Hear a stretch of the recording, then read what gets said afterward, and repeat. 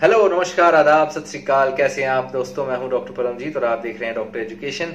आज हम बात करेंगे हाइट के बारे में। दोस्तों, पिछली बार हमने हाइट के बारे में आपको बताया था कि हाइट आप कैसे जान सकते हैं, अपने बच्चों की हाइट कितनी होगी और उनकी हाइट अगर कम है तो उसे कैसे बढ़ा सकते हैं। और हमने आपको बताया था कि हाइट के पर जितने फैक्टर्स है जेन जीन्स है जेनेटिक्स हैं, आपकी मेडिकल कंडीशन क्रोनिक बीमारियाँ न्यूट्रिशन एक्सरसाइज है, आपकी ग्रोथ मॉनिटरिंग है है ना? ये सब चीज़ें फैक्टर और मैटर करती हैं। न्यूट्रिशन का रोल हमने अच्छे से समझाया था एक्सरसाइज का रोल समझाया था। स्टडीज़ में भी ये प्रूवन है, जो अच्छी डाइट लेते हैं, उनकी हाइट ग्रो होती, और ज़्यादा जो नहीं लेते, उनकी नहीं ग्रो होती। फ़िज़िकल एक्टिविटी हार्मोन स्टिमुलेट करती है हाइट और ग्रो होती है। और हमने बताया था कि जो प्यूबर्टी का टाइम है, उस बहुत इंपॉर्टेंट टाइम है। फीमेल्स में जो आठ से तेरह साल की उम्र है, उसमें प्यूबर्टी की ग्रोथ स्पर्ट होती है। मेल्स में दस से पंद्रह साल की उम्र में ग्रोथ स्पर्ट होता है और उस समय आपको बहुत इंपॉर्टेंट है एक्सरसाइज डाइट अपनी सही रखना। High calcium high protein diet लेना है।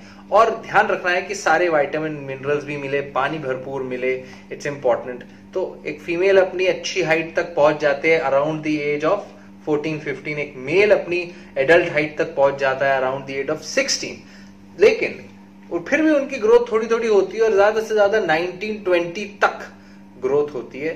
20 साल के बाद 20 साल के बाद आपकी ग्रोथ नॉर्मली नहीं होती। तो आज हम बात करेंगे कि 20 साल के बाद अगर ग्रोथ नहीं होती तो आप क्या कर सकते हैं और आपके पास क्या ऑप्शन है राइट सो लेट्स स्टार्ट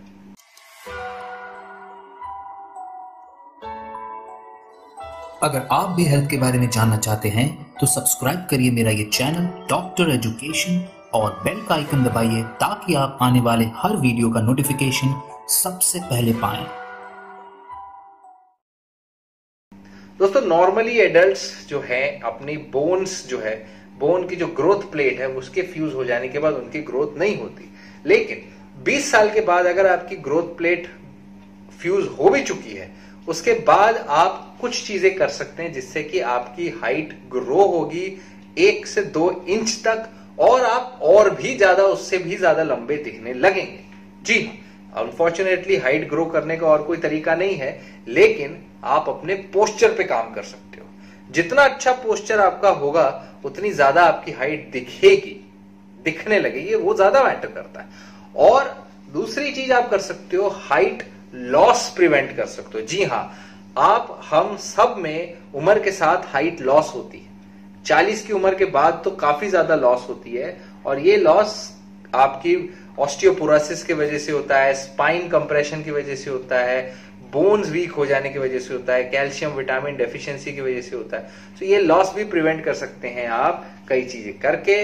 उसके लिए पहले हम बात करते हैं कि पोस्चर आप कैसे अपना पोस्चर ठीक रखें? ऑब्वियसली पोस्चर के लिए, खड़े होने के लिए आपको ध्यान रखना होगा कुछ बातों का, बैठने पे कुछ बातों का।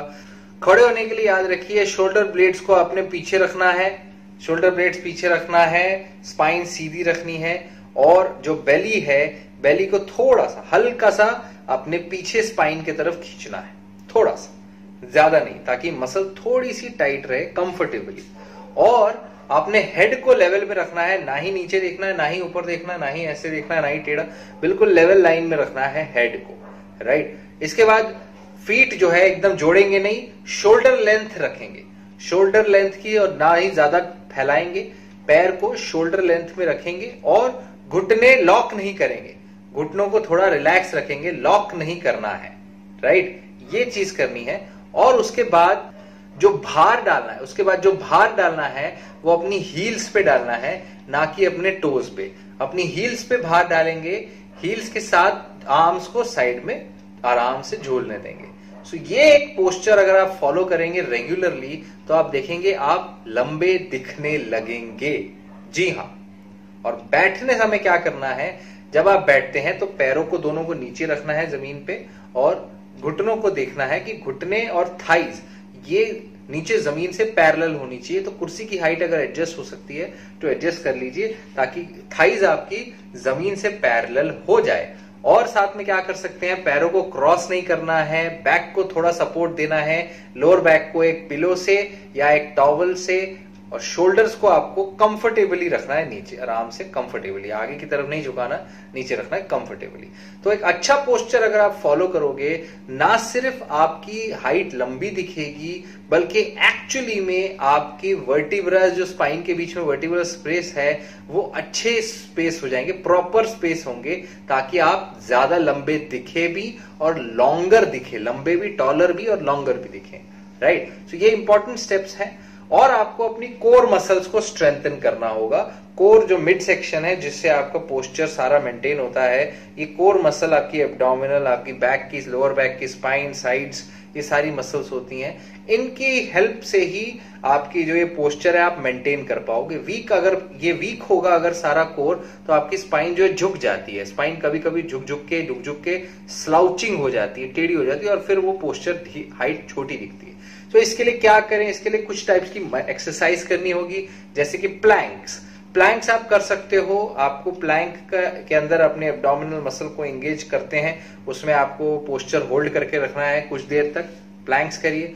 सुपरमैन करिए, पेट के पेट के ऊपर, लेट के सर और दोनों हाथ। सर और दोनों हाथ आपने ऊपर उठा लेने हैं, पैर भी दोनों ऊपर उठा लेने हैं और थोड़ी देर होल्ड करना है।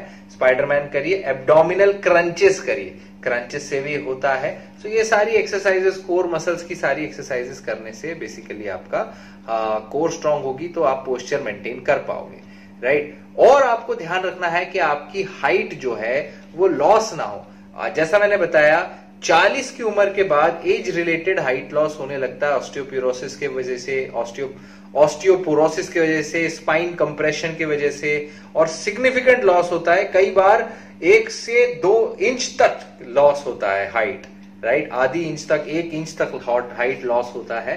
तो उसको कैसे आप अवॉइड करेंगे?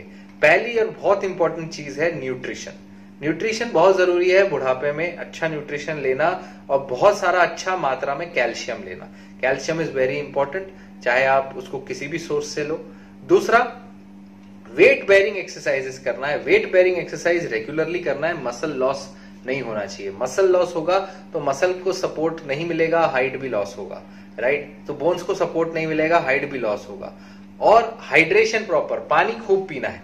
पानी खूब पीजिए, अच्छी रेस्ट लीजिए और सिगरेट बीड़ी तंबाकू से दूर रहिए। उससे एक्चुअली हाइट लूज होती है। सिगरेट बीड़ी तंबाकू से माड़ी मोटी आप शराब पी सकते हो। अगर पीनी भी है, लेकिन ज़्यादा नहीं पीनी ओके तो बेसिकली ड्रिंक बहुत कम रखिए मिनिमम रखिए दैट्स द आइडिया इतना सारा अगर आप करोगे तो आपकी हाइट लंबी भी दिखेगी और पोस्चर भी सही रहेगा।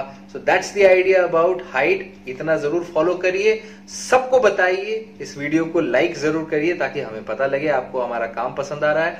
और शेयर ज़रूर करिएगा। अब तक आपने सब्सक्राइब नहीं किया है चैनल को सब्सक्राइब भी करिए बेल आइकन भी दबाइए।